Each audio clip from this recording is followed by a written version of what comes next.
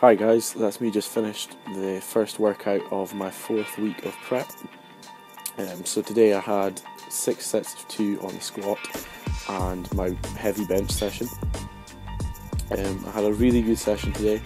I hit some, well, two PRs um, in the bench press. One of them was um, 120 kilos for three reps raw, and then with a slingshot, I managed to hit six reps at 130 kilos, which is a two rep PR in addition to this, um, I also want to add that I'm going to be uploading three days a week consistently now until um, the end of my prep at least.